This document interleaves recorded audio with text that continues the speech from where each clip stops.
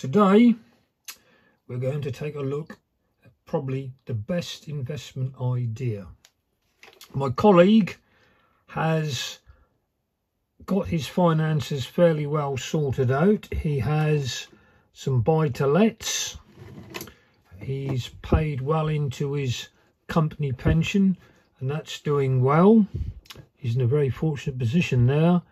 But now he's looking to find somewhere else to place his cash. He's got six months of cash already stored in case of emergencies and his excess cash over and above all of that he's looking for somewhere to put it. He's been toying the idea of getting into the stock market and probably the best simplest way is to go to the Vanguard platform. And we're now on the platform and we go to what we offer. Uh, open an account. If you go to open an account um, I have an existing Vanguard I'm new to Vanguard. That's where you open the account. It's quite a simple process but we're going back to home. And we are going to look at the options they have a stocks and shares ISA. This is an, um, an account which is um, based in the UK where your dividends and any profits you make are totally cash free. The only downside is you only allowed one ISA per year and there's a maximum you can pay in. I believe that's £20,000 at the moment. Uh, that's the stocks and shares ISA. Um, there's also a personal pension which you operate through this platform but in my colleague's case he's got his pension nicely sorted out.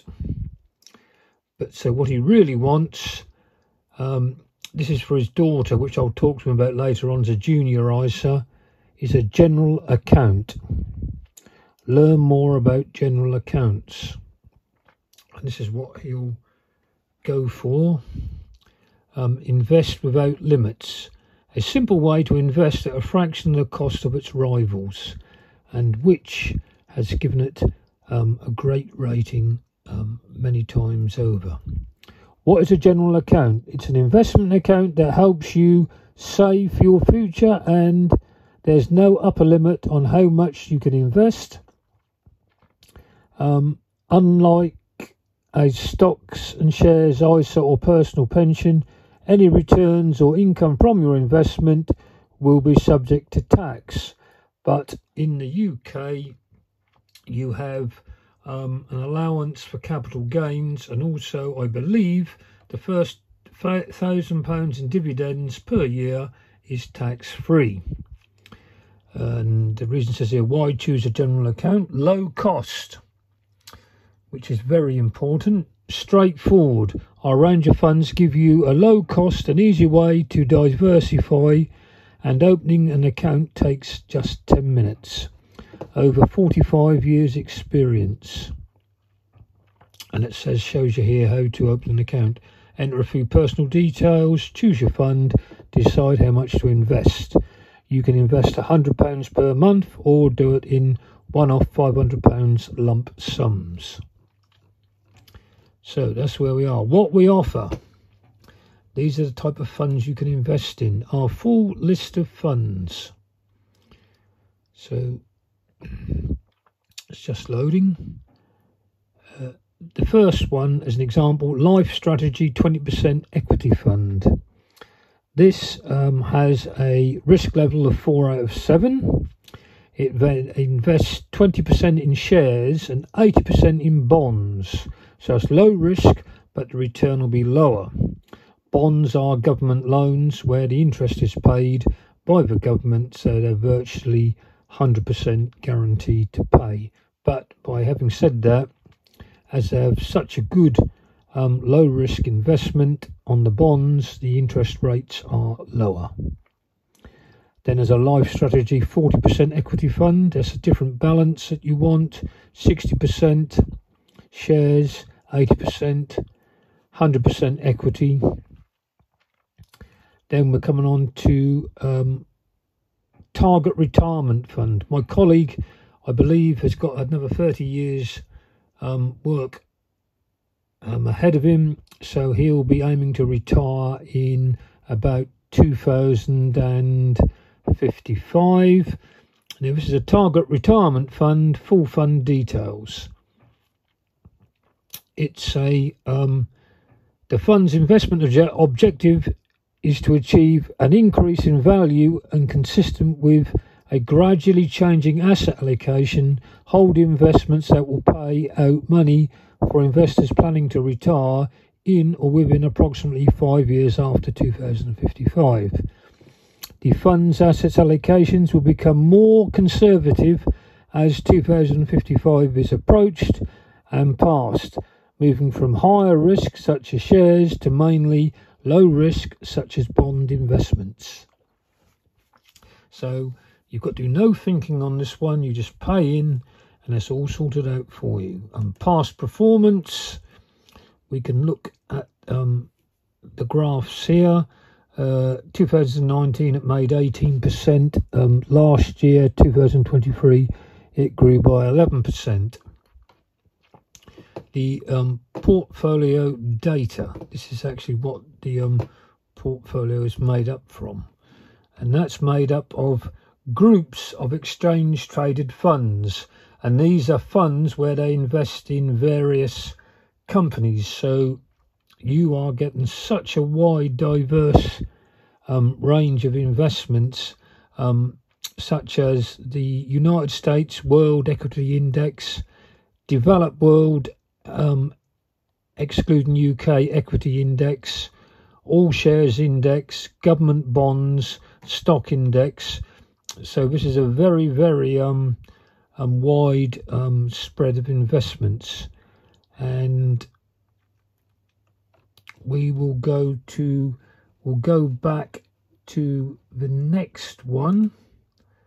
Uh, if I go to what we offer, our full list of funds.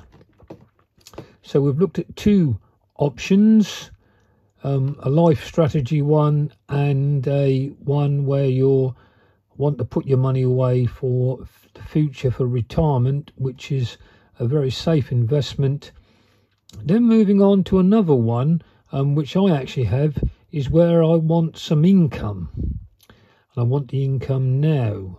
So I've actually gone for the um, FTSE All World High Dividend Yield ETF. Now you can have it so the money's reinvested so the fund keeps growing, or you can take it so you um, have the dividend payments in the form of cash. Um, the fund details is 100% shares, it is a high risk and it's um, global, so it covers all of the world and it holds um, shares in 1,945 companies. The fund details um, income generating.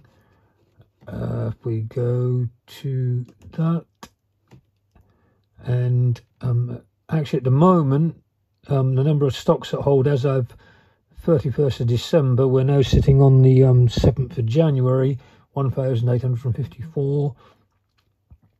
And past performance, um, as you can see, in 2019, the fund grew by 21%, and last year, 2023, it grew by 11%, which is in common with most um, um, stocks. Uh, so, and if we go to portfolio portfolio data, um, the fundamentals, uh, it goes to the countries or regions that the um, um, um, fund invests in. North America is 45% um, of the fund is invested in North American companies. Then we've got 26% Europe, 15% Pacific, 11 emerging markets, um, 0.2% Middle East. And the actual countries uh, North America is 42%, Japan 8.4, United Kingdom 7.6, Switzerland 4.9, and the list goes on. And going down further, this is the um, the exposure, the sectors. 25% um, is exposed to the financials, uh, 11% to consumer staples. Then we've got energy, healthcare, as you could see. Then this is the actual percentage of the total number of shares held in each company. Now, this is the first um, 10. We've got JP Morgan Chase & Co., US Bank. Everyone know them, or if you're in the US, you do. ExxonMobil, or Esso Petrol, we know them. Broadcom, I believe they're um, a communications company. Johnson & Johnson, everyone knows them. Um, Procter & Gamble, Home Depot, which is an American company. Nestle, that's your chocolate and other items. Um, Samsung Electronics, that's the Korean, South Korean massive conglomerate. Um, Merck Co. and Chevron Group, which is um, the um, oil company that most people should know. Um, then we're going on to next, the next group of um, we've got AbbVie, Pepsi, Coca-Cola, Toyota, Shell, Bank of America. As you can see, these are all large companies, but they're a small percentage um, of the total holding because the overall um, holding is over 1,800 shares. So this is the one that I invest in, and it actually pays out every um, three months a dividend, which is quite um, well. That's what I'm aiming for is to um, go for capital growth and actually get an income from the um, from the um, fund. Uh, so that's the um, payment dates 14th of December, September, June. Um, ex oh, ex dividend. The payment dates is 27th of December, 27th of September, 28th of June, and um, that's the payments per um, um, share that you hold in um, the ETF. Uh, then we go for the overview. The charges are minimal, 0.29%. Um, charges are hidden up a lot of um, exchange traded funds where the fund hold groups of shares, but this is quite a transparent um, fund and it is highly recommended. Um, and as we can see, that's the past performance of the fund. Uh,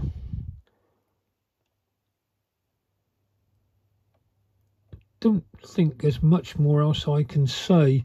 Um, you have to buy um, one stock. You can't buy part stock. So in this case, you've got to buy them in multiples of £49.21. But that price does vary um, as time progresses.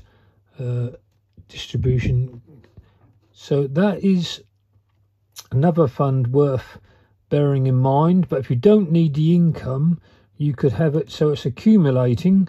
And what that means is um, the dividends are reinvested into the um, um, into the um, exchange traded fund. Uh, so going back, um, having another look.